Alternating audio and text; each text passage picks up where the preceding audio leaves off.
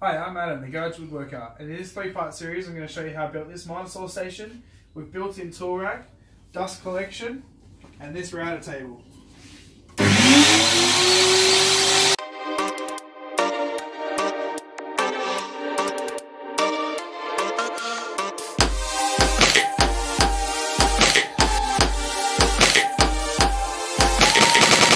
Having to use a stop block every time I want to make repeated cuts to the miter saw is one of the main reasons for building the miter saw station.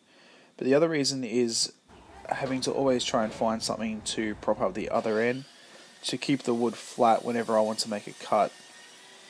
Making a miter saw station is going to eliminate that need to prop up the end of the length of wood.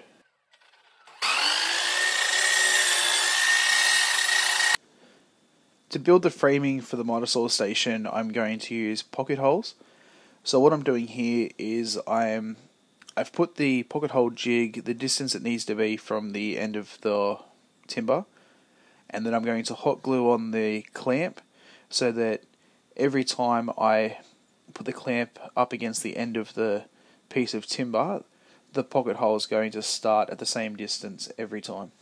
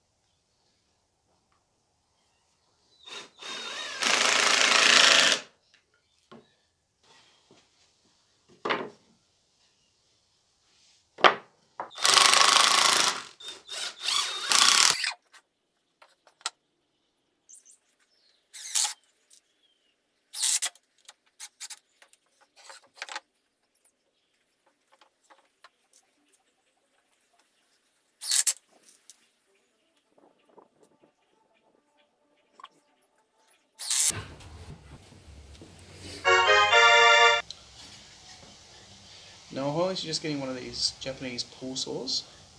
As you can see one side of the pull saw has coarse teeth and the other side has fine teeth. The reason why there's the two different teeth is the coarse side is for rip cuts and the fine teeth are for cross cuts. Now this is a perfect example for using this saw. So to cut this notch out I need to do a rip cut and a cross cut.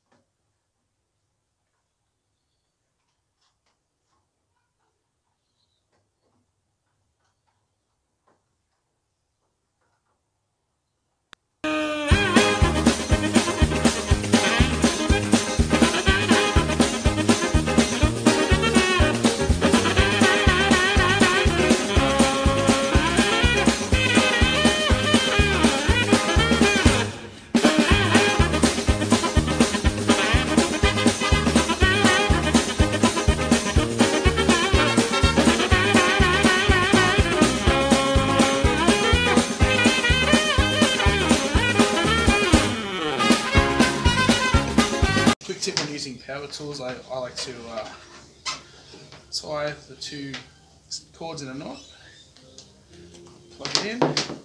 That way, if the cord gets caught on anything, it won't pull the tool out when you're halfway through a cut.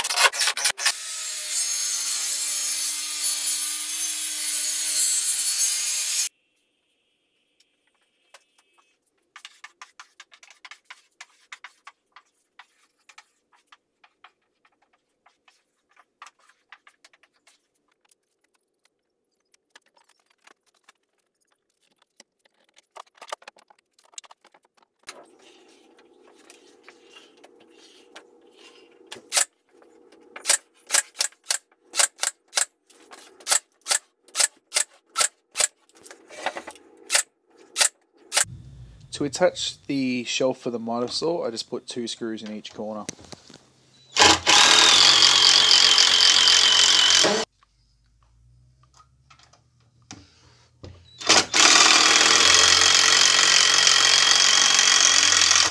Okay, now to line up the saw, what I've done is I've clamped a straight piece of board to this fence.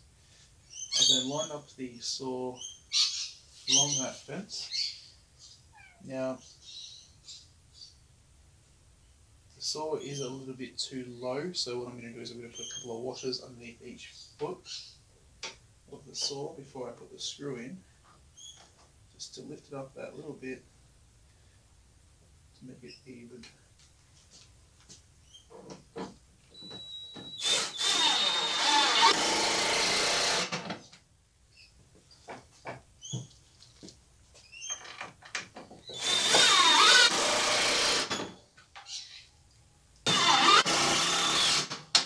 So that concludes part one of the saw station. Next time I'm going to show you how I built the router lift. Now you may be wondering why there's so much overhang with the MDF on top. And that is because I'm going to put cabinetry on which is going to match the cabinetry that I'm also going to put on my tape oh, on my workbench. There's also going to be cabinetry put up the top here as well. So all this tool storage will also be hidden. This tool storage and the miter saw fence and also dust collection will all be covered in a future video as well. If you liked my video, please consider subscribing, maybe hitting that like button. Also, let me know down in the comments what you thought of my video and editing skills. I am very new to this and I'm still trying to find my style.